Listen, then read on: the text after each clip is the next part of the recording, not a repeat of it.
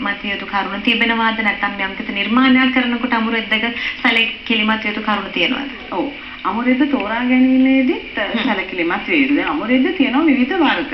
හුඟා ගොරෝසු අමුරෙද්ද තියෙනවා. ඒකත් පින්තල් සඳහා ගැලපෙන්නේ නැහැ. ඒ වගේම හුඟාක් තුනී තුනී අමුරෙද්දක් තියෙනවා. ඒකත් ගැලපෙන්නේ නැහැ. තව තියෙනවා ඇත්තටම ඒකට අමුරෙද්ද කියලා කියන්න බෑ. නමුත් කඩවලල අමුරෙද්ද කියලා විකුණනවා නිකන් පොලිස්ටර් ගතිය තියෙන රෙද්දක්.